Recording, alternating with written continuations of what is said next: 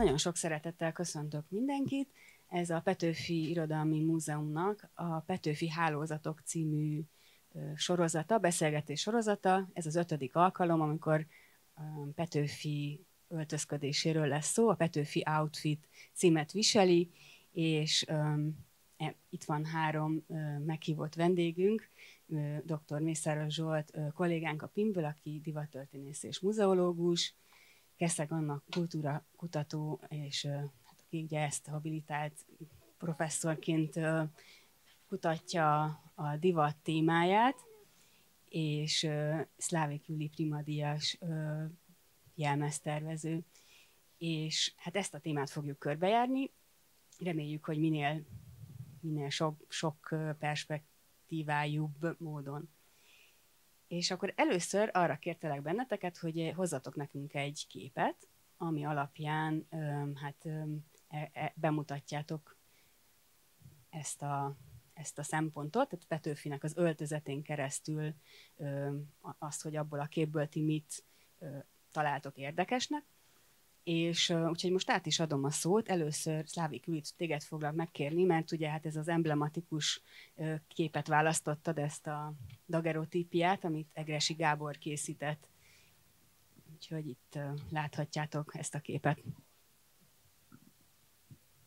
Köszönöm, sziasztok!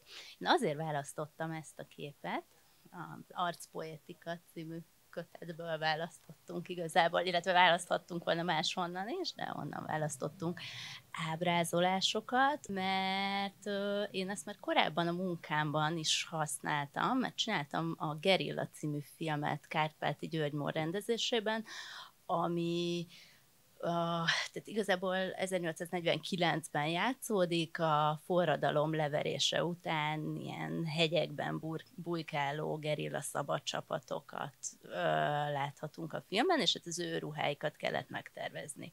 Igen ám, de ez olyan szempontból egy nehéz feladat tervezőként, mert ö, nincsenek ö, tehát korabeli ö, hogy is mondjam, olyan ábrázolások, vagy fotók, tehát hogy mondjuk a későbbi koroknál van már az ember tud fotóirodalomból is dolgozni, mert mint hozzánk időben közelebbiek ről beszélek, de, de mondjuk erről az időszakról nincs rendelkezésre álló olyan képes anyag, amiben mondjuk azt, hogy valakinek természetesen hogy áll a haja, nem pedig egy ábrázolt frizurája van, azt azt nem is lehet tudni. És, és akkor ennek kapcsán így, így ö, ö, ugye a, a Gyurival, a rendezővel ez a fotó így, így ö, előkerült a számunkra, vagy így, így fontos volt olyan szempontból, hogy lám, tehát ez egy dagerotípia, de mégiscsak egy, egy ilyen, ö, mint egy ilyen régi tehát mint egy dagerotíp, így, így használható volt, mert nagyon, tehát a forradalom és szabadságharc időszakában tulajdonképpen nincsenek így, így dagerotípok. Míg például egyébként a, a ö, észak-déli ö, háborúról ö, az amerikai Egyesült Államokban abszolút vannak ilyenek, tehát például használtuk azokat az ábrázolásokat is, ö, Na most, most elmondtam, hogy nekem mi ehhez a kapcsolatom, viszont amúgy szerintem ez egy nagyon-nagyon-nagyon fontos kép Petőfiről tekintve, hogy ez az egyetlen olyan, ami, mint a gerotíp, megmutatja, hogy ő valójában hogy nézhetett ki. Minden más az egy általa is, vagy az utókor által is ö, szerkesztett, ö, vagy úgy, úgymond ellenőrzött valami, viszont ez az egyetlen, amit egy színész barátja készített róla. Tulajdonképpen egyébként ez egy ilyen fotó kísérlet volt, ö, maga Egresicse igazán tudta, hogy hogy kell használni ezt a általa Párizsban vásárolt eszközt és technológiát, és ami még érdekes a kapcsán, az az, hogy hogy nagyon hosszú útja volt, ezt ebben a kötetben is lehet ö, olvasni, hogy hányszor tűnt el, és hányszor ö, hívták elő újra, de ö, ami szerintem eszenciális, hogy ez nem, nem szerette ezt Petőfi. Tehát őt ez kifejezetten idegesítette, és állítólag dugdosta ezt a képet, mert ez úgy készült, hogy az Egresi tulajdonképp színész barátait, meg magát fotózta, egyébként ebből a sorozatból róla, magáról az Egresiről még két kép lehető fel, tehát meg ez a Petőfiről, más nem, és tehát ilyen, hogy mondjam, ilyen színészpózokat gyakoroltak, tehát ilyen, és mindegyiket ülve, mert ugye nagyon hosszú volt az áridő még a dagerotív felvételeknél, és kellett az, hogy egy ilyen, tehát hogy végig lehessen ezt ülni, ezért egy ilyen fix pozíció, ezért is ilyen fura kitekert a Petőfinek a tartása ezen a képen, de hát látszik, amit mindenféle ilyen utókori legendákból tudunk meg, saját koriból, hogy egy ilyen szűk mellű férfi volt, meg, meg maga a termete, a valós termete, nem egy idealizált termet, és nekem mindez nagyon érdekes. Meg az is, hogy ő, hogy tehát ez az arckifejezés, ami ugye a homályos, de mégis azért látszik, hogy, hogy mi, ő milyen, amikor egy harcos poszt vesz fel, és ez is nagyon érdekes volt egyébként a szabadságharc ö, szempontjából, vagy ennél a filmünknél, hogy ez már a, a pennájával, de kardjával is harcoló költőnek a képe ami ő, a, tehát az ő öndefiníciójának, ha ugyan nem is szerette ezt, de, de egy ilyen fontos ö, momentuma. Ráadásul, majd erről mindjárt szerintem bővebben is lesz szó, ez a bizonyos fekete Attilája látható itt rajta, fekete nyaksájával, ami, ami már a, a szerkesztő, szerkesztő helyettes költő jelmeze neki tulaj, vagy ön, önmagát jellemző jelmeze, amit ugye Vahot pénzén készítethetett el magának, és, és ez már, már, hogy mondjam, az ő öndefiníciós köreinek már egy, egy, egy második lépcsőfoka, majd lesz egy harmadik, amikor már nyaksálat sem hord. És akkor át is adnám a szót szerintem a következő képhez.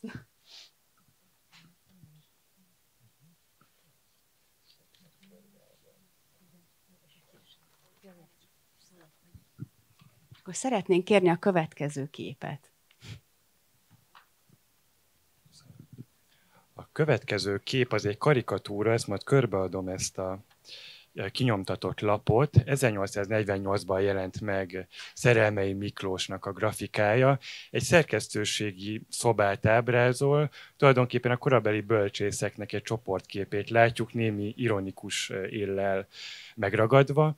És a, ami a mi szempontunkból érdekes, hogy ott Petőfit láthatjuk kinyújtott lábbal, ugye feltűnik a jellegzetes hajviselete, a szakálviselete, és azért érdekes ez a kép, mert még hogyha karikaturisztikus módon is, de megragadja azt a reformkori író alkotó nemzedéket, amely, a, amely tulajdonképpen berobbant akkor abba a nyilvánosságba, és szorosan összefonódott a modern sajtó, a modern irodalomnak a kialakulásával, ahogy a különféle képes, illetve irodalmi folyóiratok megjelennek, ahogy kialakul a, a, a, a modern vagy önálló értelmiségi írónak a figurája, aki már a saját keresetéből él meg. Ha ez nem is mindenkinek sikerült, vagy nem is minden esetben, de legalábbis ez volt a cél. ez volt a cél, és ennek a körnek, ennek a közegnek volt a tagja Petőfi.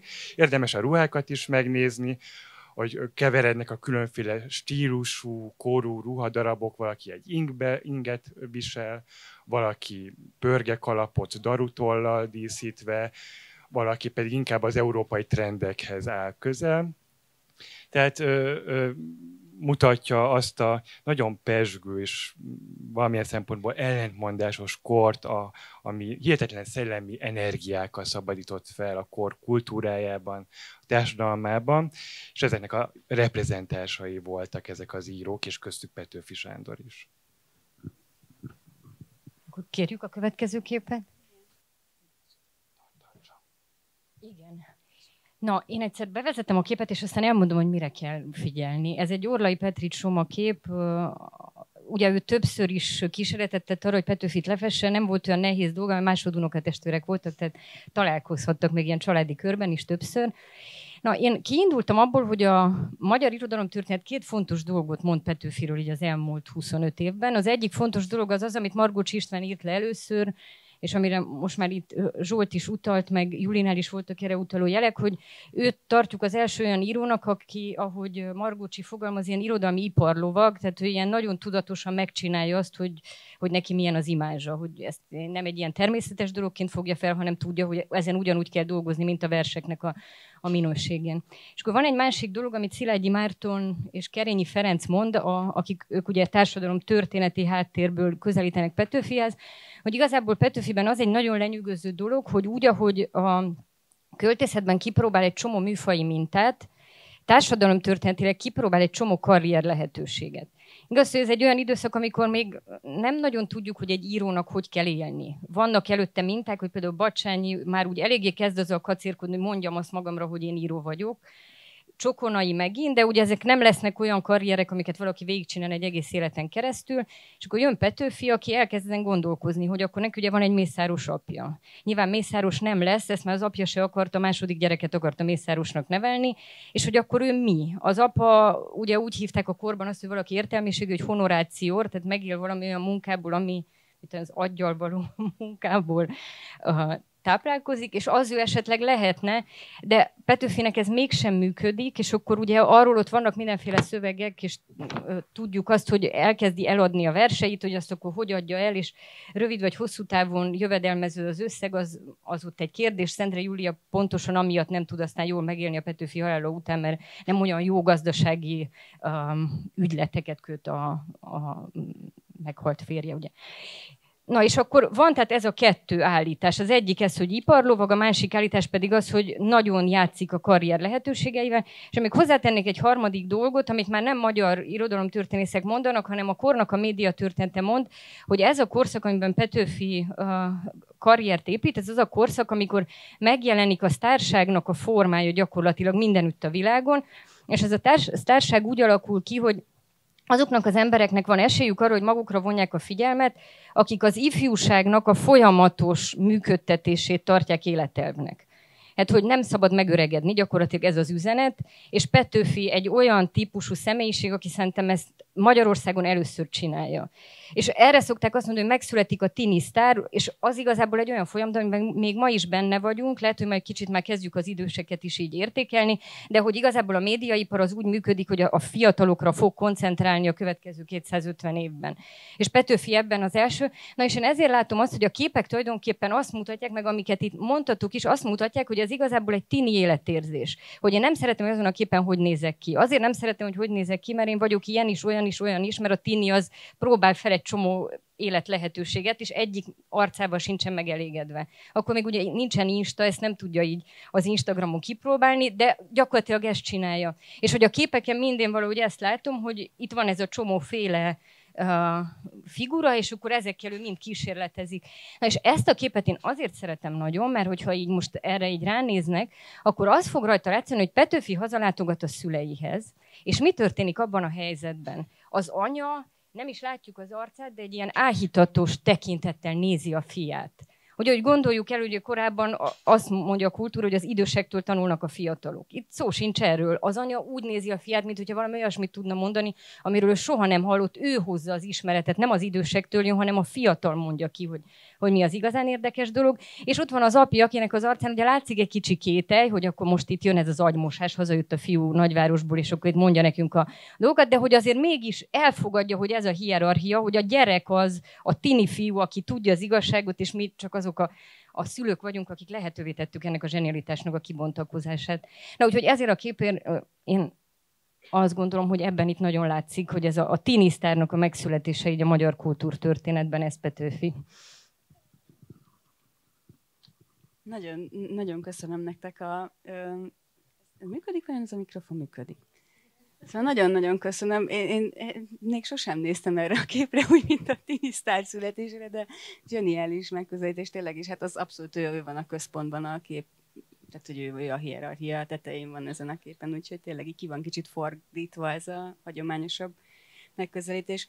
Jó, és akkor most a következő kérdésre ugranánk, amiben öm, hát picit jobban belemegyünk most már a beszélgetés vezérfonalá, vagy a beszélgetésbe, és amikor először beszélgettünk e- erről veletek, akkor, akkor hát az olvashatóság fogalmát tettük meg vezérfonalnak, és hát szóval, hogy, hogy úgy szeretnénk most ezeket az öltözeteket vizsgálni együtt, hogy, hogy azt, mint egy valamiféle jelrendszernek a, a megvalósulását, tehát hogy ezt akkor abban a korban olvasták, hogy mi van az emberen, és hogy vajon akkor azok a kortársak mit olvashattak le azokról az öltözetekről, illetve azokról a képekről, amiken abban az öltözetben ábrázolják a költőt, illetve majd ez így a kérdések során haladunk előre, hogy akkor maga tudatosan hogyan konstruálta meg ezeket a képeket, amiket magáról alkotott az öltözetekkel, illetve az ábrázolásokkal.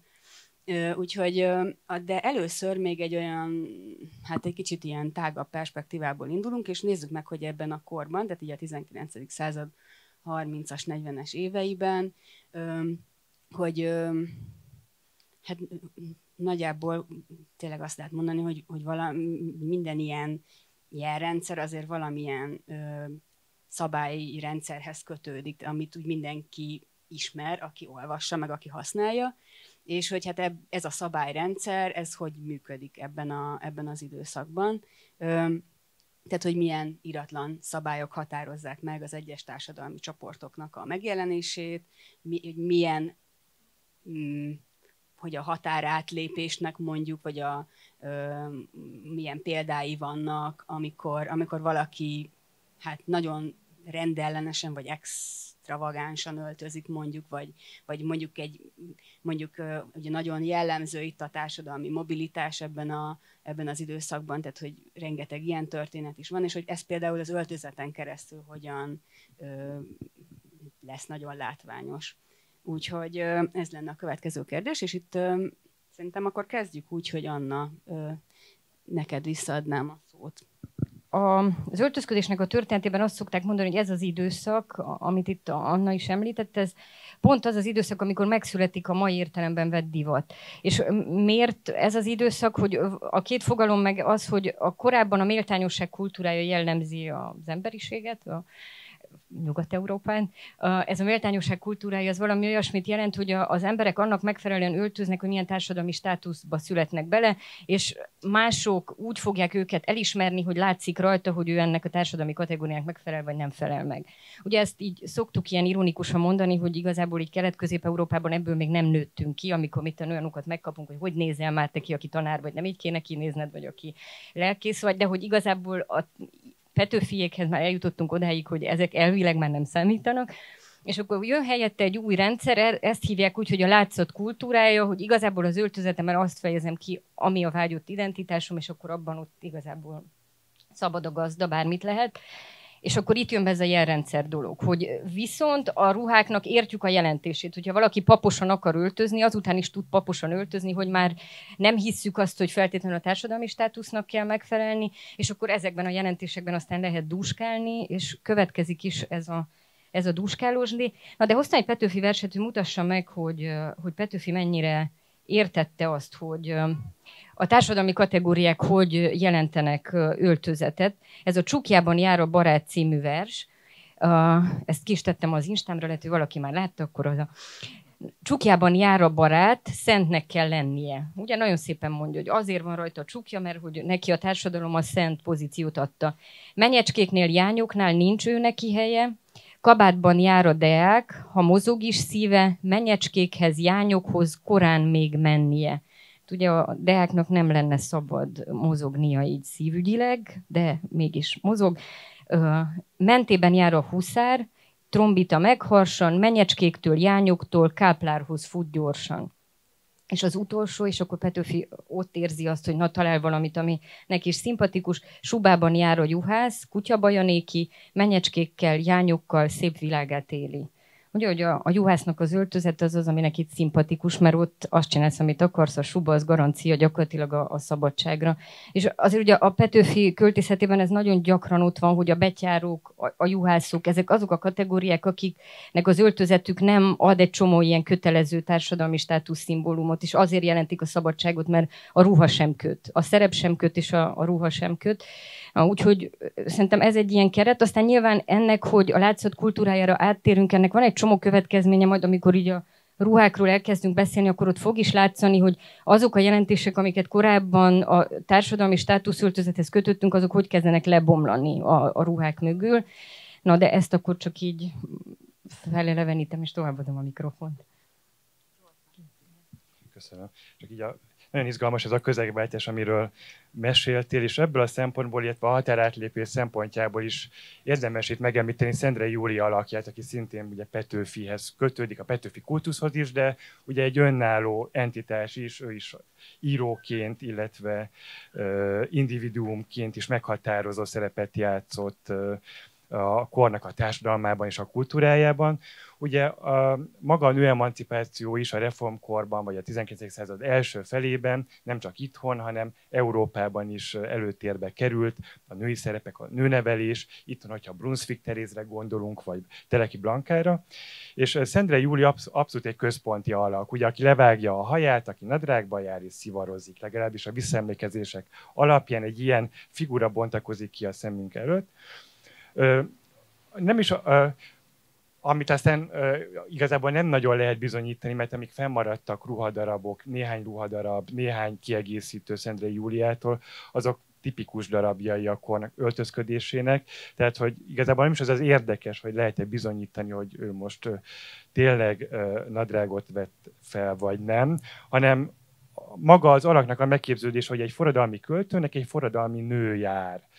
De ettől függetlenül, hogyha végignézzük Szendrei Júliának az életét, illetve olvasjuk az ő írásait, mindenképpen egy független szellemű, önálló ö, ö, embert látunk, akinek ö, írói tehetsége is volt, de hogy pont ezek, a, a, ahogy a, a látszatkultúra, vagy utólagosan megkonstruálódnak és alakulnak ezek a különféle képzetek és hiedelmek, emiatt is ö, ö, érdekes Szendrei Júlia, meg hát ugye, hogy a kortársak mit láttak bele, és hogy mihez hasonlították, hiszen hogyha a francia írónőre gondolunk Georges Sanra, aki egy férfi nevet választott György, azaz Georges, aki, tél, aki férfi nadrágot, vagy férfi ruhát vett, hogy kimenjen a városba, és ott elvegyüljön a sokasságban, és ott megfigyelje a, a környezetet, hogy ezt felhasználja az ő műveiben.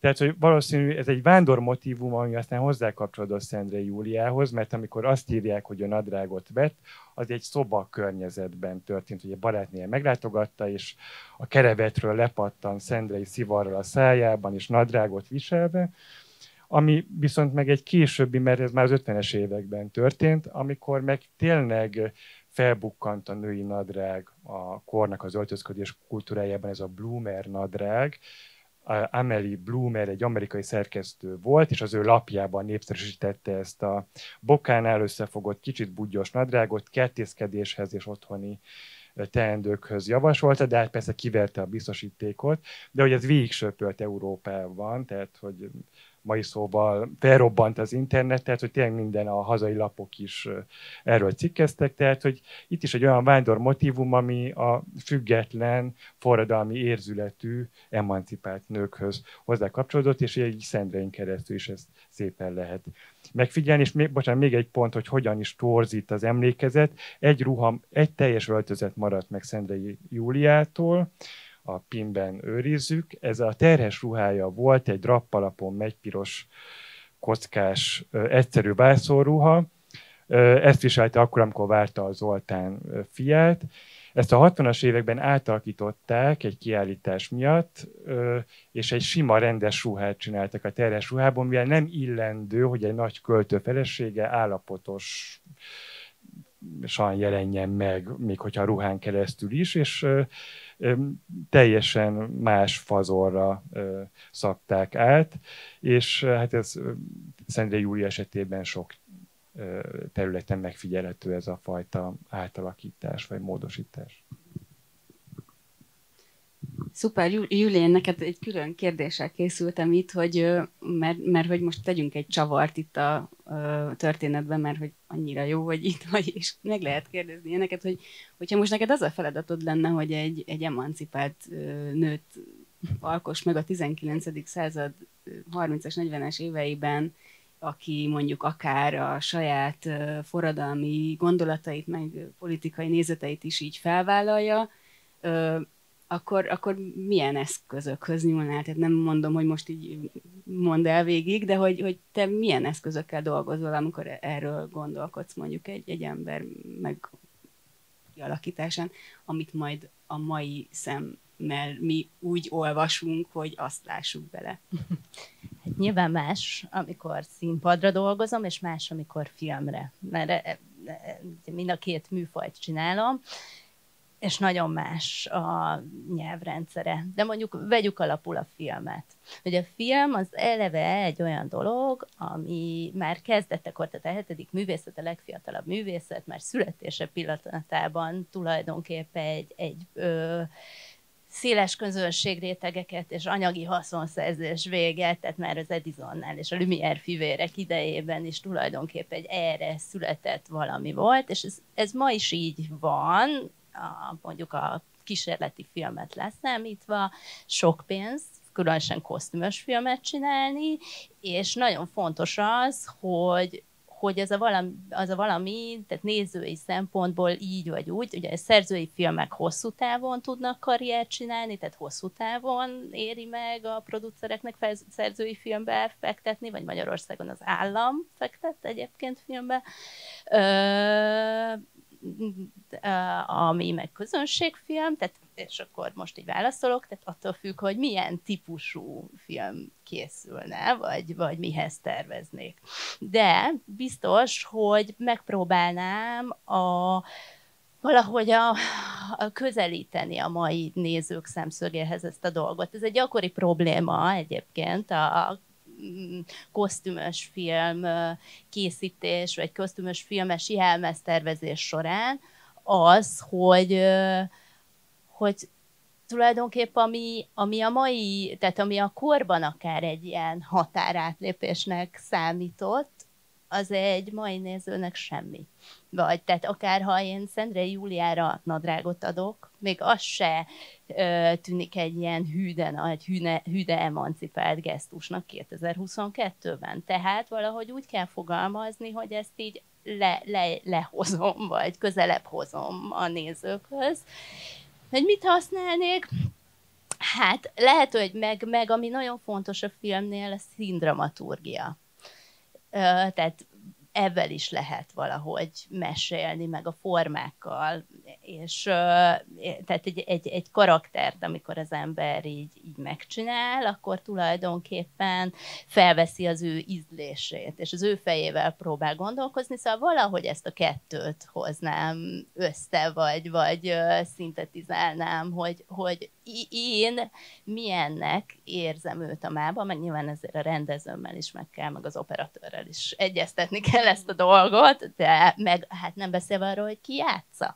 Tehát, hogy ki az a színésznő, milyen alkatú. Manapság például ilyen apró részletekben nem vesznek el, hogy akkor milyen a hajszíne, vagy milyen a szemszíne. Persze lehet olyanra módosítani is, de, de van egy ilyen kortás, filmes trend tulajdonképp, hogy és most nem a Bridgerton House-ra, meg a hasonlókra gondolok, ahol már semmi nem számít, de, mm, de hogy egyébként se, tehát lehet szőke, vagy szőkés barna, az egyébként sötét hajú Szendrei Júlia, majd hamarosan lesz is egy olyan Petőfi film, amiben ez így lesz, de Szóval nyilván tehát sok tényezőt figyelembe vennék, és akkor valahogy így próbálnám közelebb hozni a nézőkhöz, nyilván a rendezővel egyeztetve. Még egy apróságra visszautalnék, arra a bizonyos terhes ruhájára a Szendrei Júliának, ott az is nagyon érdekes, hogy ugye a 60-as években alakították át, és hogy abszolút olyan a szoknya formája. Tehát, hogy még csak nem is egy bider fazonra alakították, hanem egy későbbi ízléssel, és ez jellemző különben, hogy, hogy még nem volt ez a fajta ilyen történetírás és történelem szemlélet ilyen kialakultan, hogy eredeti formájában úgy érizzük meg, mert hiszen attól érdekes, hogy az úgy volt és azért volt, hanem tulajdonképp az adott kor, a pillanat nézőpontja. Tehát ez, ez hasonló ehhez a filmes ábrázolásmódhoz, mert ilyen értelemben, hogy, és akkor erre például tök jó példa a Bridgerton ami, tehát, hogy a, a jelenkorban mi az, ami érdekes, és mi az, ami a múltba vissza lehet, vet, hogy lehet vissza lehet vetíteni akár határátlépéseket. Nagyon, nagyon köszi. És hát akkor most térjünk át Petőfi öltözeteire, és szerencsére hoztunk kettőt ezek közül, úgyhogy most be is dobom itt a köztudatba. Jaj, de jó.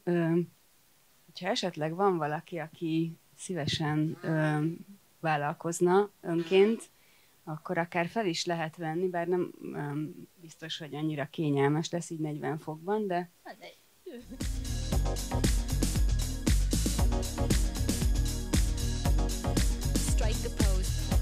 Tehát akkor először is Petőfi lila frakját szeretném bemutatni. Hát nagyon-nagyon köszönjük a hősies helytállást. A következő ruha, amit hoztunk, ez a ö, következő itt van. Na hát erre már nem kérek senkit, hogy vegye fel, mert ez már tényleg nagyon meleg itt. Ez egy, ebben az az érdekes, hogy ez egy, ez egy jelmez. Tehát, hogy ez konkrétan a Peleskei Notárius című darabban egy jelmez, és hogy ez ez, ezzel Vahot Imre igazából azt a képet alkotta meg Petőfiről, amit ő képzelt arról, hogy hogyan is kéne kinéznie Petőfinek, és, és ezt választotta, hogy ez szerintem egy nagyon-nagyon jó kérdés, hogy vajon ez mit jelent abban a korban, tehát mit láthattak ebben, milyen, milyen olvasható minták vannak mondjuk ezen a az öltözeten. Ugyanígy a lilafrakkal is, például az kérdés, hogy hát egy lilafrak az mondjuk abban a korban milyennek számít, hogy extravagansnak számít, vagy, vagy normális, egy átlagos, vagy szín, színpadi viselet. Ez Petőfi az utcán is viselte, tehát hogy nem csak színpadra viselte, hanem az utcán is, a vándorszínész korából, korábban csináltatta ezt magának. Jó, és akkor a, a harmadik képünk, azt csak a monitoron láthatjátok, de azért, hogyha oda tudtok nézni, akkor érdemes, meg Júli egyébként említette is a, a dagerotípiával kapcsolatban, ez az a kép, amit akkor csináltatott magának, amikor a Pesti divatlapban először megjelenik az ő arcképe, és akkor ez az, ahogy ő bemutatja magát, mint ifjú író. És az utolsó kép, az pedig egészen biztos, hogy láttátok már, ez a nagyon híres barabás Miklós kép, ahol Petőfi 48-ban, mint ifjú forradalmár, és ezért itt már a politikus is látszik rajta, megjelenik. Úgyhogy, úgyhogy ez a négy öltözet van, ez a négy kép van, és akkor átadom a szót nektek. Akkor kezdem én. és uh, egy válaszolok is így a közbeszúrt kérdésedre, amennyire tudok. Tehát, hogy tudni kell, amúgy a vándorszínész létről a korban, hogy meg még sokáig, tehát hogy ez e-, egészen az 1920-as évekig még nem lett egy olyan ö, nemzetközi trend, hogy létrejött az én foglalkozásom, és jelmeztervezők terveztek ruhákat szinte minden előadáshoz, addig tulajdonképpen a színészek ö, hozták a ruháikat, és a, tehát az ő karakterek, szerepeiknek megfelelő ruhatárat alakítottak ki, és ez gyakran, tehát ezek voltak a ruháik, tehát utcára is gyakran hordták ezeket a ruhákat. Ö, e, itt is hasonló a helyzet, szóval nem véletlenül hordta akár a lila frakkot Petőfi, bár ez, ez egy féllel már későbbi, tehát talán itt, már, itt még vándorszínész volt, amikor ezt hordta. Szerintem igen. Na mindegy, de hogy ö, ö, szóval a lényeg a lényeg, hogy ö, hogy akár olyan alapon szerződtettek színészeket egy-egy társulathoz, hogy milyen ö, ruha hozományjal érkeztek ahhoz az adott társulathoz. Tehát, hogyha valakinek volt egy szép pár piros csizmája, az egy érv volt amellett, hogy ő a szerződtetése alkalmas személy. Ez, ez színésznöknél egyébként sok leírásban szerepel, meg az F. Tózsa Katalin divattörténésznek, aki sajnos pár éve elhunyt, van is több, tehát több könyvében ír erről. Szóval, másik kérdésedre válaszolva, ez a szín, tehát mindig ö, a 20. századi divat történetírás az alapvetően mindig sötét 19. századról beszél a férfi divat kapcsán. Ez így is van, de a század eleje, tehát az 50-es évekig, sőt igazából igen, az 50-es évekig tartó időszak, az egyáltalán nem volt sötét ott történt egy váltás, előtte a férfi divat is kifejezetten színes volt. És most nem a, az olyan férfi divatra kell gondolni, tehát hogy mindig igazából kik képviselik a divatot, vagy kik a reprezentánsai, azt, azt el kell attól, tehát a, a hogy mondjam, a, a divatos embereket, tehát a módi viselőit és a, a hordott divatot, tehát a divat elméletet és gyakorlatát, azt a korban ugyanúgy el kell választani, mint, mint ahogy ma is uh, milyen egy otkotűr bemutató, milyenek azok a ruhák, amit ott bemutatnak, és milyen annak a közönsége, azok az emberek, akik kvázi uh, influencerei vagy trend szetterei a, a divatnak. Tehát, hogy, mert sokszor a fennmaradt ruhadarabok, miért tudunk egyáltalán arról, hogy mik voltak ezek a ruhadarabok, miket viselt Petőfi, azért, mert ő viselte őket. Például jelmeztervezőként ez egy tök nehéz feladat, hogy, hogy ha nem valami érdekes vagy rendkívüli figurát. Ha nem egy arisztokratát kell ábrázolni, akkor mihez nyúl az ember? Honnan ö, szerez hozzá anyagot, hogy hogy néztek ki, hogy néz ki egy mosónő, hogy néz ki egy háztartásvezetőnő, hogy néz ki egy cselédlány. Szóval ezek, ezek például abszolút ö, nehéz feladatok, mert nincsenek ábrázolások, mert ez is olyan tehát, hogy egy-egy ilyen, hogy mondjam, olyan festményt leszámítva, ami ilyen romantikus odafordulással ábrázol egy ilyen figurát, nem nagyon vannak ábrázolások, és még nem volt fényképezés, mert dagerotípián sem e, e, ezeket az alakokat örökítették meg. Úgyhogy igen, szóval nehéz ezt tudni. Tehát ezek is ilyen tulajdonképp azért érdekes darabok, mert Petőfi darabjai voltak. Amúgy a korabeli, tehát azt hiszem a Vahotnénak van róla ez a mm, kritikája, hogy igen, igénytelen ember volt, bár érdekesen öltözködött. Azt hiszem így nyilatkozik róla, Hát, hogy most ő igénytelennek mit tehát a frizurájára is gondolhatott, ilyen nagyon erős szálló haja volt, ez nyilván szinte az utókor emlékezete, de a, talán ezen a dagerottípon is látszik, hogy, hogy olyan, olyan kefe haja volt, és hogy mivel divat volt így úgy fésülni, meg, meg ö, ö, göndöríteni, ezért nyilván egy ilyen hajtípusban például ezt nehéz volt megcsinálni. Ezért is lehetett uh, igénytelennek uh, minősítve. Uh, tehát e, ennyit a lila frakról. A másik ruháról viszont az uh, mindenképp elmondható, hogy uh, ez egy másik hagyományba akarja őt bekötni tulajdonképpen. Ugye csokonai val is ő szeretett volna azonosítani, azonosulni. Tehát volt benne egy ilyen szándék, hogy ő abba az irodalmi hagyományba, vagy, vagy hogy mondjam, tehát hogy egy, egy, azt az alakot ö, testesítse meg, mint Csokonai. Valószínűleg azért is, mert volt egy alkati hasonlóság is, bár ugye Csokonai, aki egyébként egy ilyen távoli oldalági rokonom, ö, vagy én vagyok a leszármazottja pontosabban, de neki nem volt gyereke, de hogy mindegy. Tehát a családfámon ott van nagyon messze.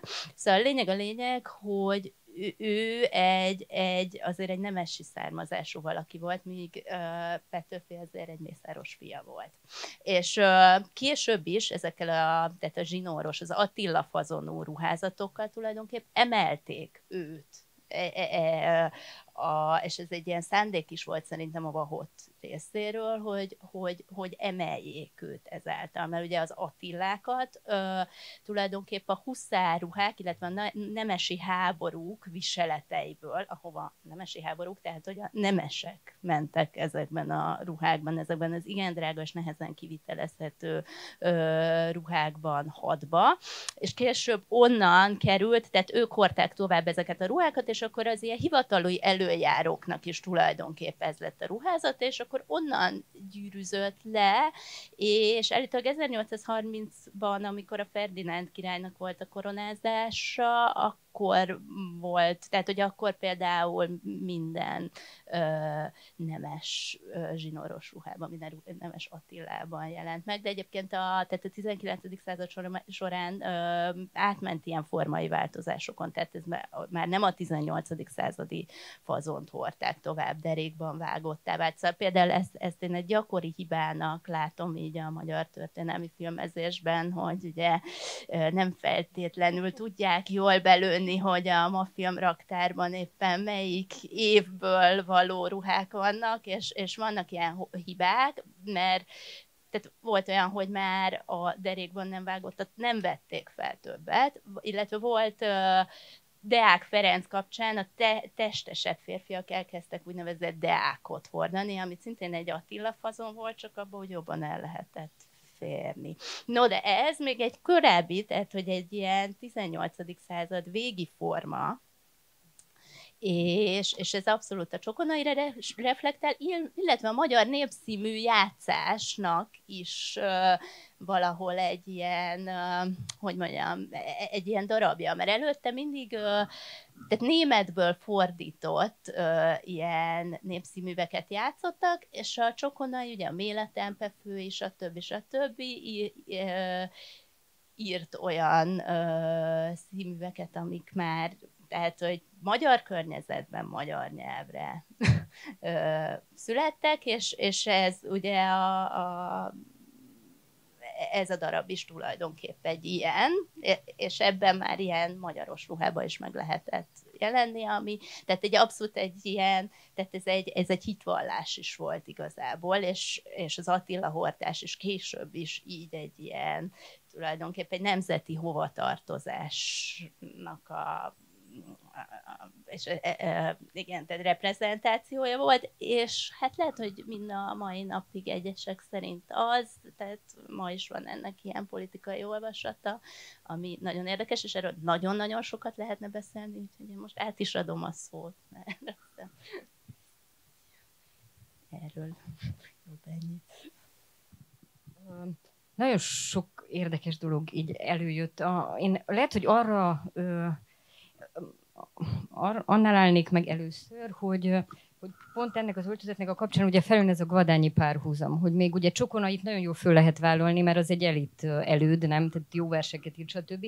De hogy én pont a Gvadányinál például érzem azt, hogy ez a tini koncept, amit az elején így elmondtam, azt szerintem Petőfinél nagyon van. Hát Gvadányi, én 18. század irodalomból írtam a doktorimat, és egy Gyöngyösi János nevű szerzővel foglalkoztam, tehát olvastam azt a típusú irodalmat, amilyen például a Gvadányi is.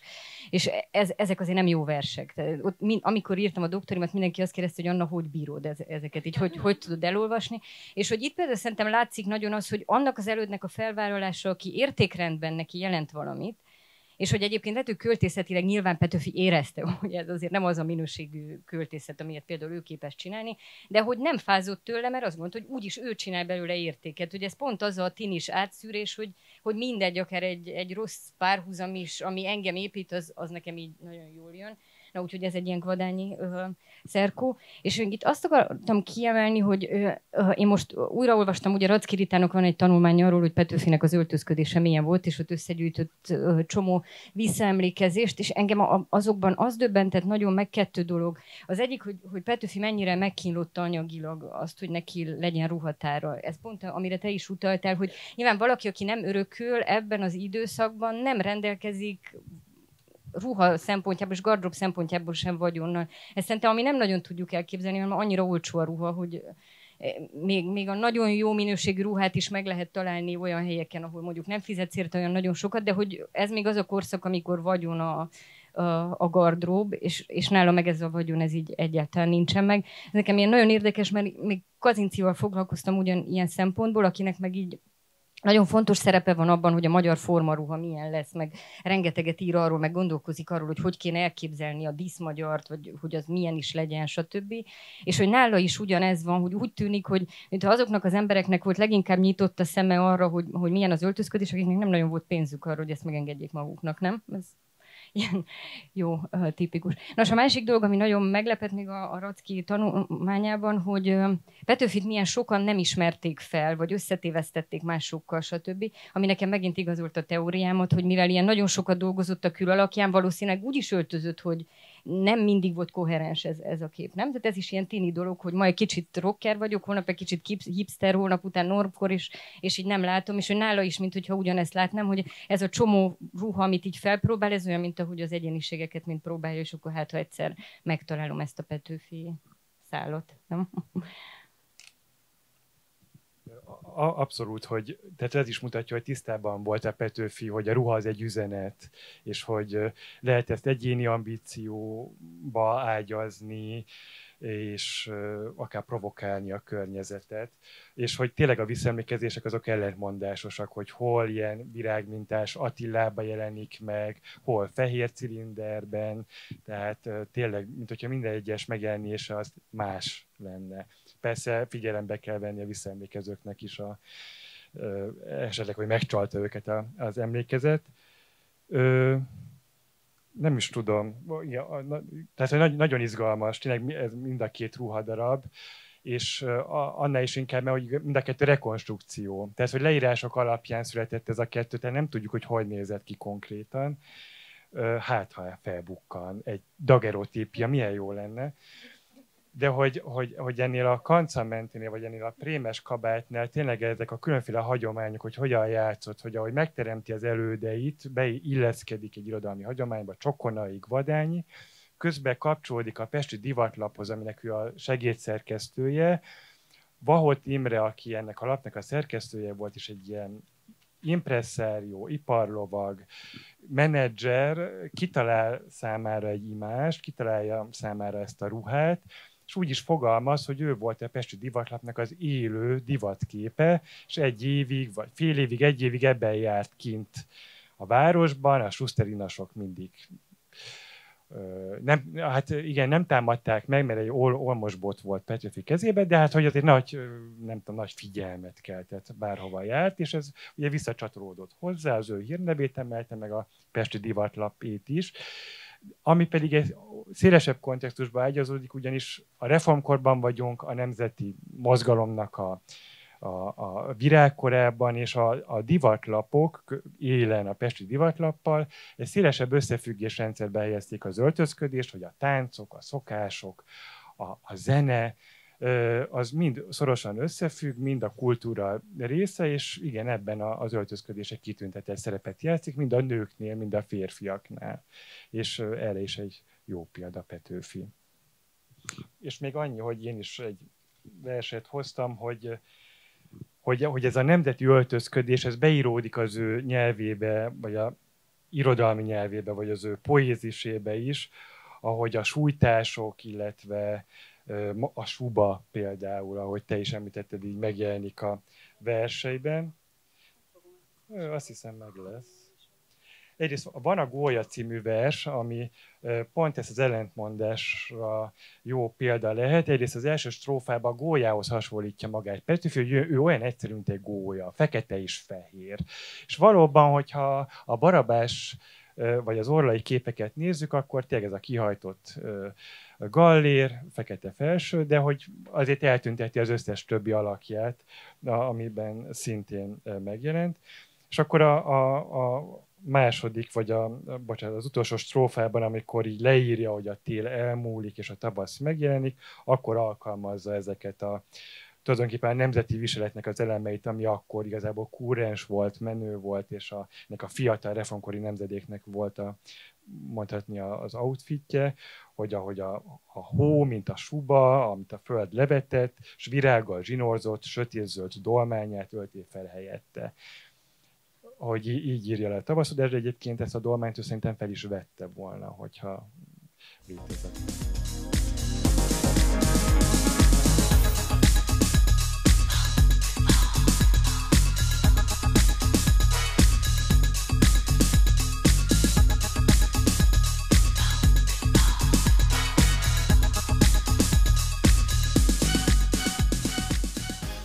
Akkor a negyedik kérdéshez érkeztünk el, ami pedig már arra a, mondjuk a mába, vagy, vagy a, a, az utókorára vonatkozna Petőfinek, hogy hát ő egy emblematikus figurája a, a magyar irodalomnak is, vagy általában a magyar kultúrának is, és hogy a, vajon az öltözködésben van-e ennek lenyomata? Tehát, hogy vannak-e olyan minták, amit mondjuk más, irodal, más irodalmárok úgy, mint Petőfi csokonaihoz nyúlt vissza, ők Petőfihez nyúltak vissza, és ilyen nyoma, illetve, hogy a divatban, akár a kortárs divatban van-e valami olyan, ami olyan olvashatóan Petőfis, és, és, és úgy lehet, utána lehetne nézni, vagy, vagy megnézni, hogy mifelé ment, e, ment el ez, és akkor itt is úgy a sorrendet rátok bíznám, hogy ki szeretne először megszólalni erről.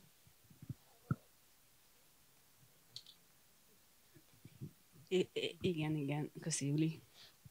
Nos, hát a kortás divatban, mint lenyomat, de talán erről te jobban tudsz beszélni, de hogy én mit látok, azt el tudom mondani, hogy tehát ez elmúlt években, tehát ez a ro- ro- romantikus költő, vagy tehát igen, a romantikus költő mitosza, vagy a, tehát ez a Byron és a temetői romantikusok, stb., mint, mint előkép, ami egyébként tulajdonképpen Petőfinek is egyfajta előképe volt. Ez a nemzetközi kifutókon így, így néha-néha most is előkerül, és főleg azért, tehát főleg egy ilyen, most épp nem, de egy ilyen 5-8 évvel ezelőtt szerintem azért is szedték elő szívesen, mert az akkori tehát ezek nagyon feszes ö, férfi ö, vonalak, vagy szabászati formák, azok nagyon mentek. Most éppen más kezd lenni a forma, de,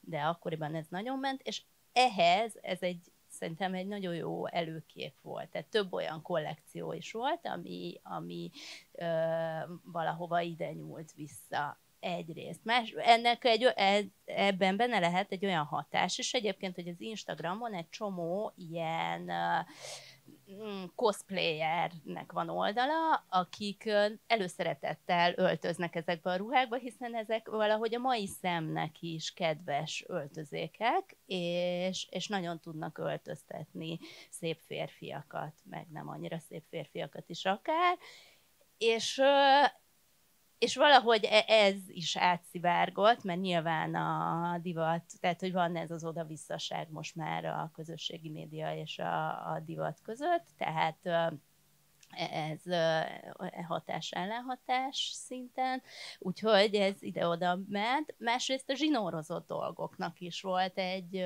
pár évvel ezelőtt egy trendje, bonyolult technika ez egyébként, de hát ilyen ázsiai gyártósorokon is meg tudták csinálni egy nagyon butított verzióját, úgyhogy a zarába is lehetett ilyen kvázi zsinórozott dolgokat kapni, ilyen kortás, kevésbé jó pénzű kortás színházi előadásban találkoztam vele, úgyhogy, úgyhogy még lehet, hogy velünk marad színházi raktárakba, és majd még előkerül színpadon.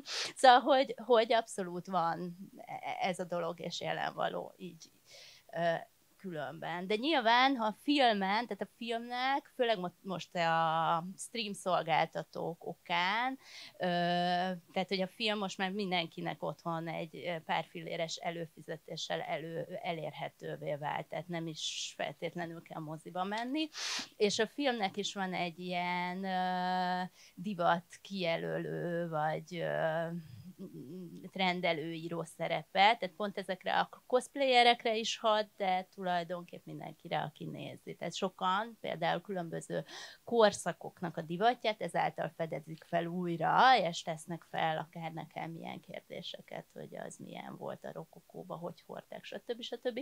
Nyilván ezek mindig, tehát hogy nagy felelőssége van ilyen értelemben egy elmesztervezőnek, hogy hogyan ábrázol egy kort.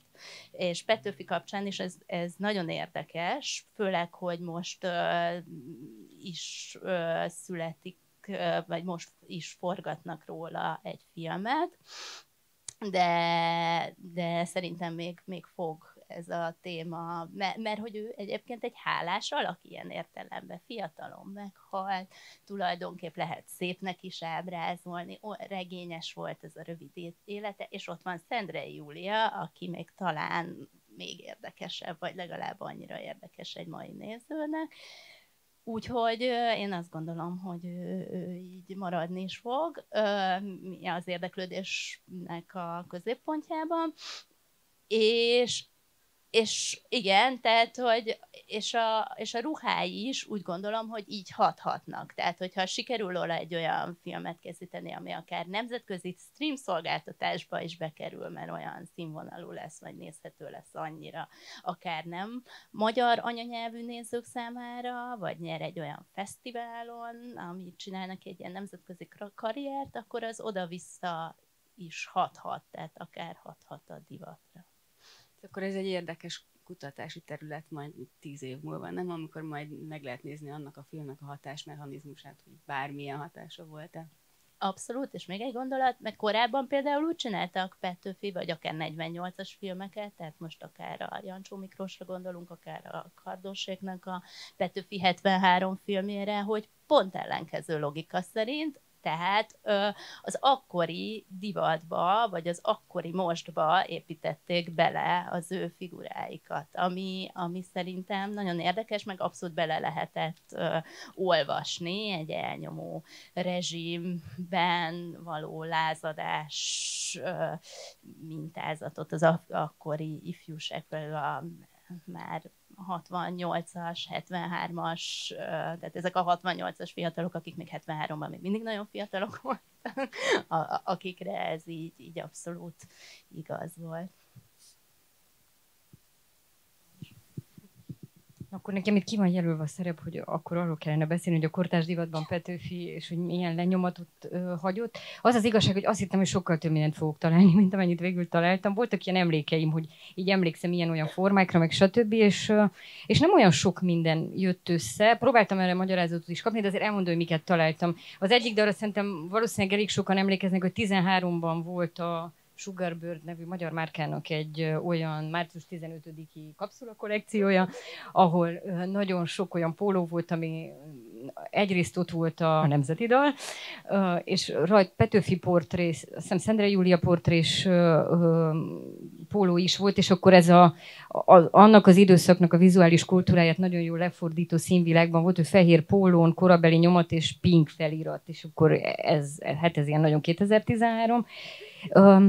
De a másik meg, amit Juli mondtál, hogy a testeszményben ez a fajta sziluett, ami mondjuk Petőfinek a sziluettje, az tényleg nagyon visszatért, az inkább még egy évtizeddel korábban, hogy a 2000-es éveknek a, az elején van, ugye, amikor a Diornál megtörténik ez a nagy vizuális váltás, és elkezdenek ezek a nagyon vékony, és mondom még egyszer azt, hogy ilyen tini testalkatú férfiak így trendet csinálni, és aztán ez tényleg a fast fashion így totál bedarálta, mert hogy nem tudom, az ember bemegy az arába, és akkor amit a legkisebb méretű férfi öltöny az akkor, hogy nekem is nagyon jó, meg tényleg ilyen nagyon slim fitre szabott cuccokat.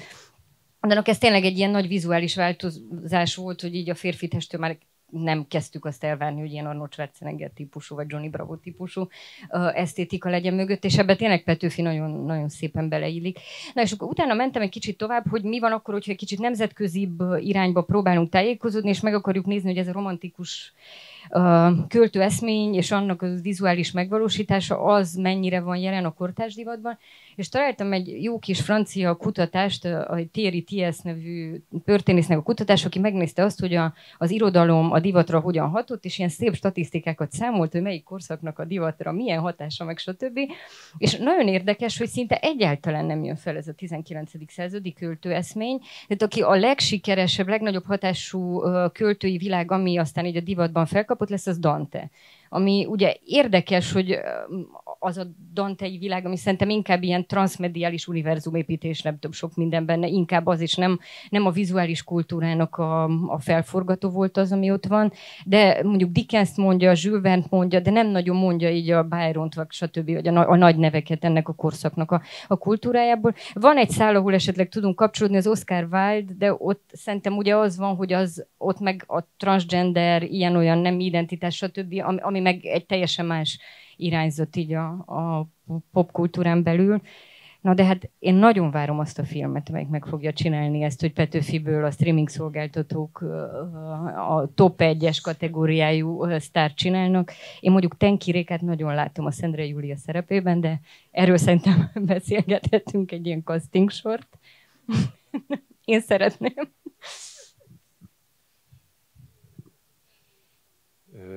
Hát így az irodalomban, hogy mennyire volt például Petőfi minta, egy külsődlegesen, hogy ott például nem nagyon tudnánk egy ilyen vonalat húzni. Tehát, hogy kétség kívül, hogy tehát a modern férfiasságnak is része volt az öltözködés, a divat, ezt láttuk itt többféle példán keresztül, és a művészek számára is nagyon fontos volt, hogy hogyan állítják magukat a közönség elé, és például Adi Endre esetében, vagy Brody Sándor esetében is megfigyelhető egy ilyen öntudatos brandépítés, vagy egy ilyen külső alakítás, de hogy ez a Petőfi Fizi Miska az íróknál nem nagyon köszön vissza, talán még József Attilánál. Igen, igen, igen a kívülálló, meg, meg, meg talán alkatilag is. Le, lehet, hogy baj Petőfi alakjával függ össze, hogy ezzel a kultikus beszédmóddal egyszer és megismételhetetlen, és inkább tényleg a film vagy a, pre, a reprezentációban él tovább. És, és hát egy író számára meg persze fontos, hogy, hogy önálló legyen, hogy ne valaminek a mása, tehát hogy e, emiatt is maximum egy-egy elemet kölcsönöznek, de át is alakítják a maguk képére. Köszi. Igazából ez, ez egy kérdés volt bennem, mert, mert hát Adi, Adival kapcsolatban is úgy szoktuk mondani, hogy az ő ruhatára is olyan nagyon átgondolt, és nagyon egyedire van szabva, és hogy ő elég amúgy ö, hivatkozik Petőfire, mint előképére, és úgy, úgy kíváncsi voltam, hogy van -e ennek úgy nyoma, hogy kifejezetten a ruházkodással kapcsolatban utalna, de hát akkor ezek szerint nem, hanem, hanem ő is épített egy brandet, és ez, ebben a ruha neki is egy eszköze volt. Úgyhogy hát igazából itt le is járt az időnk, még ezek egyébként iszonyatosan izgalmas kérdések, és nagyon-nagyon köszönöm ezt a rengeteg ö, utalást és ö, referenciát és külső olvasnivalót, mindenfélét, amit ö, itt ö, megadtatok, mert ennek a beszélgetésnek a Petőfi Irodalmi Múzeumnak a honlapján ö, lesz egy, tehát ez a beszélgetés ott fönt lesz, és akkor ott ezeket majd így összeszedem egy kis olvasmány listába is, hogyha mondjuk azok, akik később ezt megnézik, még irodalomtanításhoz, vagy, vagy csak úgy tájékozódáshoz szeretnének úgy utána nézni, akkor, akkor hát ez egy fantasztikus ilyen kis gyűjtemény lett, amit ez alatt az óra alatt itt megosztottatok velünk, úgyhogy nagyon-nagyon köszönöm nektek a, a részvételt és a, az együtt gondolkodás beszélgetést, és esetleg még talán van még egy, egy öt percünk arra, hogyha van a nézőközönségnek kérdése, ezzel kapcsolatban, amik itt elhangzottak, akkor bátran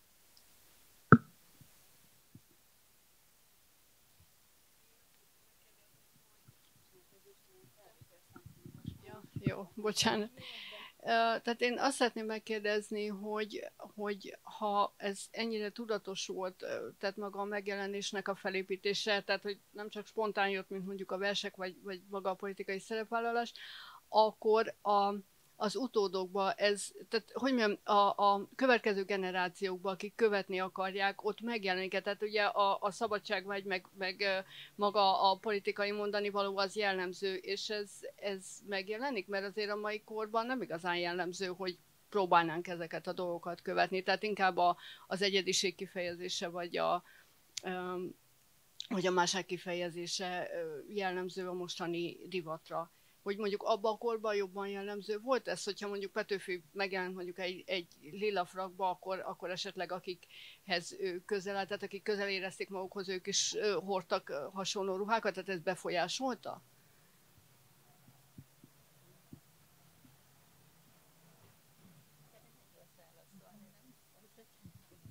Az a baj, hogy erre szerintem nagyon nehéz válaszolni, hiszen nem tudunk, nincs adatoltan, de tehát, hogy ebbe ti szakavatottabbak vagytok, de nem, nyilván munkám kapcsán nekem is kellett ebben foglalkoznom, ezért, tehát, hogy de ez engem is foglalkoztatott, de nincs erről adat, tehát innentől kezdve nem tudjuk, hogy ő mennyire vált, hogy mondjam, egy olyan személyé, akit követ lettek, vagy ilyen, ilyen trendsetter figurává, de az biztos, hogy például most arról az ábrázolásról nem beszéltünk, de az ő kedvence az egy bizonyos barabás rajz volt, és amikor én úgy tudom, hogy amikor az megjelent a Pesti Divatlapba, ez hasonló, igazából ott annyi a különbség, hogy ott úgy felfelé nézi, ja, ja, igen, ez ott a harmadik, de van egy másik, az volt az ő kedvenc ábrázolása magáról, és a kortársai is később azt mondták, hogy ő önmagához azon hasonlít a leginkább. És annak állítólag ilyen óriási hatása volt, amikor végre arc volt a, a vershez. De hogy ez milyen Köszönöm. volt ez a hatás, tehát hogy ez hogy materializálódott, hát ezt nem, nem tudjuk, vagy nem igen, még lehet egy hogy ezt tényleg mindig így szerintem alábecsüljük, hogy ma általában szoktuk tudni, hogy melyik költő hogy néz ki, de akkor ez így egyáltalán nem volt egyértelmű. Hogy erről így tényleg vannak tanulmányok, hogy például Berzsenyit hogy nem ismerték fel, nyilván ez egy picit későbbi, és, és már egy kicsit más dolog, de hogy ott meg tényleg az, hogy megjelent egy ilyen portré Petőfiről, akkor aki ez az eljutott, úgy képzelte, hogy Petőfi olyan, és mondjuk ezt hogy neki az öltözködése mennyire hasonlít, vagy mennyire talált követőkre. Én ezt magamnak egy kicsit mindig úgy fordítottam le, hogy, hogy valószínűleg valahogy úgy kell elképzeljük, hogy azokban a baráti körökben, amikben ő mozgott, ott lehet, hogy voltak ilyenek, hogy tudunk, hogy mit a Negresi Bénivel volt hasonló ruháj, vagy mit itt vannak erről így leírások. De hogy az ugyanolyan, mint ahogy mi most egy baráti körben lehet, hogy mit tenne a barátnőmmel veszünk egy egyforma dolgot, és hogy ez mennyire került ki abból a körből, ez pont azért volt nehéz, mert nem voltak a terjedésnek olyan útjai, amin, amin kikerülhetett volna. Köszönöm. Az, hogy a Pesti Divatlap tehát ebbe bekerült, szerintem ez azért feltételezhetően jelentette azt, hogy fókuszba került, nem? Tehát, vagy nem tudom. Igen, egy nagyon, nagyon rövid anekdota ezzel, hogy az útirajzokban úgy kezdődik, hogy elindul a kocsin, és, és, és hát ez egy elég vicces dolog, ahogy ő így leírja ezt, hogy, hogy, hogy megy, megy a kocsi, és, és akkor egyszer csak utonállók állnak a kocsi elé, és őt a, lepuffantják, és akkor utána felébred az álmából, és hogy ezt arra vezeti vissza, hogy hát előtte ugye megjelent a képe, és most már felismerik őt. Tehát, hogy ez, ez a, hogy, hogy egyszerre van egy ilyen megmutatkozási vágy, de azért egy félelem is attól, hogy itt most akkor ő már kiderül, hogy milyen, és felismerhető. Úgyhogy akkor e, még egy kérdés volt. Lehet, hogy ez egy kicsit off-topic beszéltetek róla, hogy a férfi ruházat hogyan sötétedett be a 19. század második felében. Arról tudnátok mondani pár szót, hogy ez magyar viszonylatban hogy nézett ki, honnan, hová volt az átmenet? Erről tudunk egyáltalán valami? Hát ugye ezek az Attilák, tehát amiben ők már reformkori, mm, hogy mondjam, vagy tehát, hogy a, a kvázi forradalmi öltözetek, ezek már feketék voltak, vagy sötétek, sötét ö, szövetek. Úgyhogy, ö, tehát ezt már tudjuk. Azt most erről még írni se lehetett 48 után arról, hogy kvázi jött egy ilyen nemzeti gyász, és hogy Magyarországon ennek volt e, ilyen hatása, de ez egy ilyen nem, nemzetközi dolog is volt, szóval egy nemzetközi trend. Igazából. A férfi divat akkor is uh, tulajdonképpen Angliából, vagy az volt a fő hatás, de ezt azért nem úgy kell elképzelni, hogy, tehát, hogy, hogy mondjam, divatlapok jöttek, és abban voltak ábrázolások, és az alapján dolgoztak a, a szabók, és látták ezeket az ábrázolásokat a megrendelők is, és akkor így csináltattak ruhát.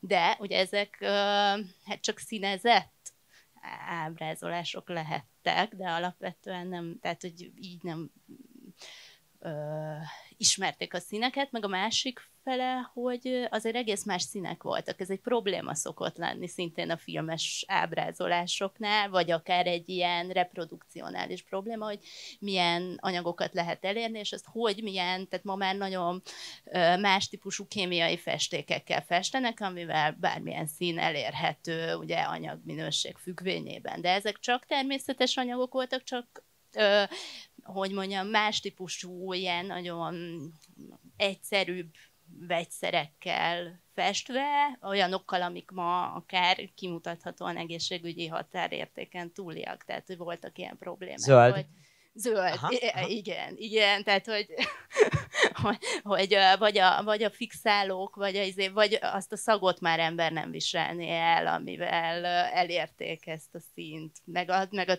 tisztítószerek szagát se, amit akkor használtak, amik ilyen főzetek voltak, szóval valószínűleg az se.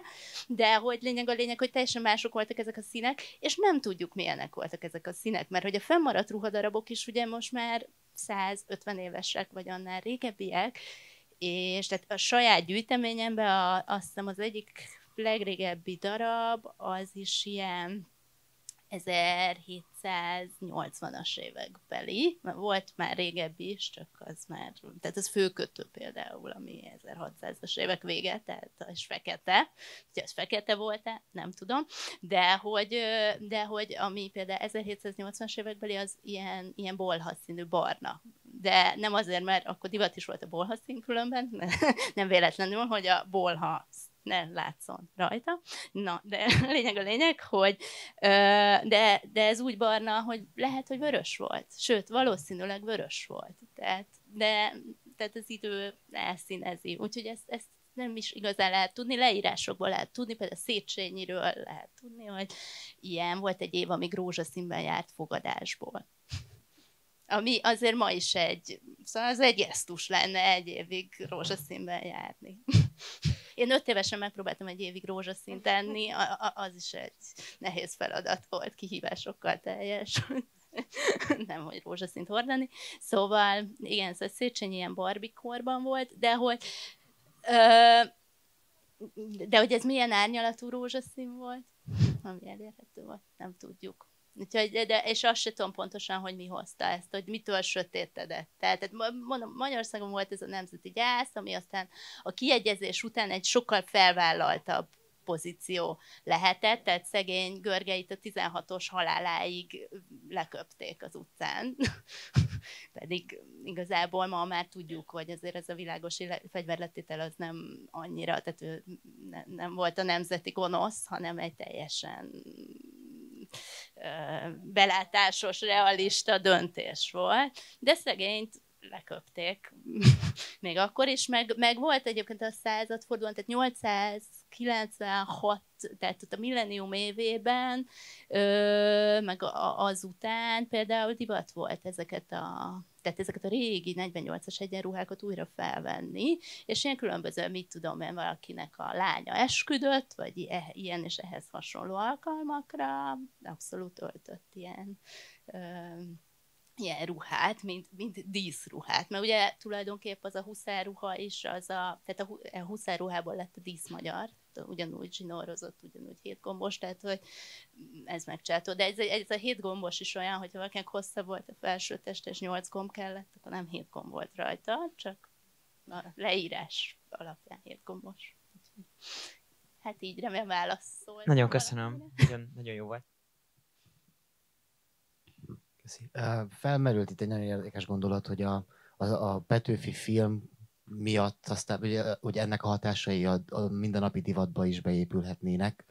És ugye az, az, hogy a nemzetközi divatba beépüljenek, azt nem tartom valószínűleg, de hogy, hogy csak, csak arra szeretnék rákérdezni, hogy hogyan képzeljük ezt el hogy, hogy akkor megjelenik egy ilyen gigázi költségvetésű film, és akkor a, a magyar fiatalok elkezdek majd Attilában járni, vagy hogy, hogy hogyan tudna ez beépülni a, a mindennapi divatba? Hát lehet, hogyha annyira meg tudná szólítani a magyar fiatalokat, tehát hogy ez egy olyan minőségű film lenne, ami kapna olyan típusú terjesztést, akkor, akkor lehetne. Értem, csak arra gondolok, hogy a ma, mai divatra nézve ezek a motivumok hogyan tudnának megjelenni. Hát ez, ez, ez mindig egy ilyen organikusan fejlődő dolog, tehát kell ehhez egy olyan tervező, akit az a bizonyos elem fog meg. Hogyha nekem azt kéne megterveznem, hogy ez egy másik filmen hogyan épülne be a majdani 2030-as divatba, akkor biztos, hogy a zsinórozást használnám, biztos, hogy ezeket a szűkebb alakot, jobban követő fazonokat, azt, amit egyébként nem szoktak, és valószínűleg most ebbe a Petőfi filmbe se csinálnak meg jelmezben, hogy ezek nagyon alakra szabott, nagyon szűk ruhák, amik főleg, tehát hogy haskötőket hordtak sokszor alatta, tehát derékban nagyon-nagyon szűkek, és a merrész szélesedik ki, és egyáltalán nem váltömöttek, tehát a vára, és a karra teljesen ráfeszülnek. Színészek ruhapróbán sokszor így kikészülnek, ha egy régit adok rájuk, mert hogy nem tudják a karjukat felemelni, és úgy mozgatni benne. Meg, hogy mondjam, tehát e, ez például egy nehézség, tehát csak bizonyos elemek azok, amik, felszívódhatnak, vagy beépülhetnek a kortárs divatba, mert nagyon el vagyunk kényelmesedve. Tehát nagyon más standardek szerint öltözünk, és gondolkozunk arról, hogy, hogy mi a kényelem. Tehát, hogy uh, például egy ilyen szű, szúros, gyapjú, posztó ruhadarabot, ami önmagában 25 kiló, tehát e- e- egy ilyen dolmány sokszor, ha mondjuk bélelt, nagyon nem, most kicsit túl, túloztam, de 12 tutira, azt kiveszi fel ma amikor nem tudom, tehát igazából uh, milyen sneaker cipőket és birkenstockokat hordunk, akkor ez, ez vagy egy olyan csizma, ami nek olyan önsúlya van, és olyan feszesen fogja a lábat, és annyira kemény a szára, bár egyébként meg inkább tehát mindegy, főleg puhát hordtak, de hogy, vagy volt ez is az is, de jellemző volt a puha, de az se kényelmes, ami Szóval nyilván olyan dolog, ami, ami a mai komfortérzetet jobban szolgálja. De az már nem az az anyagszerűség, ha nem az az anyagszerűség, akkor már úgyse lesz olyan. Szóval ez a kis ilyen, ilyen nehéz dolgok. Én még ehhez egy dolgot hozzátennék, hogy kell ahhoz valami ö, helyi vagy meglevő trend legyen, hogy amire ráépül a film, és azt aztán fel tudja erősíteni. Ha hogyha megnézzük, hogy az elmúlt években mik voltak ilyenek, a Stranger Things, az Eufória, a Besugó, ezeknek mind úgy tudott a, az öltözködésük nagy divathatást kiváltani, hogy volt előtte egy szubkultúra, ami már használt ezeket a szimbólumokat. De én most tudtam, hogy nincsen ilyen Petőfi öltözködési szubkultúra, vagy én még nem vettem észre.